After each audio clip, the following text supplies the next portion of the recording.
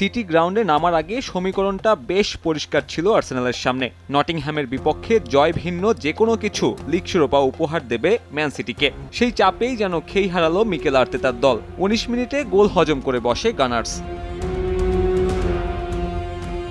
সে গোল আর শোধ করা হয়নি ম্যাচের বাকি সময়টাতে। হবেই বা কীভাবে? অবনমন ঠেকানোর গুরুত্বপূর্ণ ম্যাচে এদিন নিজেদের উজাড় করে দেয় নটিংহ্যাম ফরেস্ট। পূর্ণ তিন পয়েন্ট নিয়ে রেলিগেশন তো এড়ালোই, সঙ্গে শিরোপাটা তুলে দিল পেপ গার্দিওলার দলকে। না খেলেই তাতে টানা তৃতীয়বারের মতো লিগ টাইটেল নিশ্চিত হলো ম্যানচেস্টার সিটির।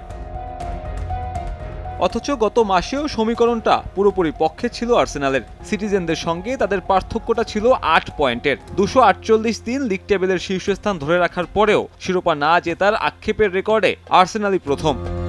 কেনাকাটায় একশো পার্সেন্ট পর্যন্ত ক্যাশব্যাক। জিতে নিন বিএমডব্লিউ সহ হাজার হাজার পুরস্কার।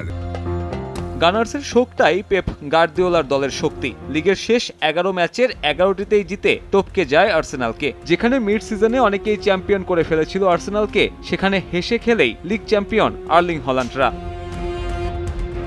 এই জয়ে ইপিএল এর রাজত্বটা আরও এক পেশে করে ফেললেন পেপ। শেষ ছয় মৌসুমের পাঁচটিতেই চ্যাম্পিয়ন তার দল। স্যার অ্যালেক্স ফার্গুসনের পর প্রথম কোচ হিসেবে লিগ শিরোপা জয়ের হ্যাট্রিক করলেন এই স্প্যানিশ মাস্টারমাইন্ড।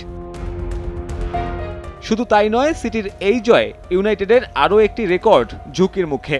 চ্যাম্পিয়ন্স লিগ আর এফএ কাপ জিতলেই ইতিহাসের দ্বিতীয় ইংলিশ ক্লাব হিসেবে ট্রেবল জয়ের নজির গড়বে সিটিজেনরা। সে সম্ভাবনা অনেকটাই জোরালো হলো পেপের দলের। লিগ শিরোপা নিশ্চিত হয়ে যাওয়ায় এখন বিশ্রামের সুযোগ পাচ্ছে সিটির ফুটবলাররা।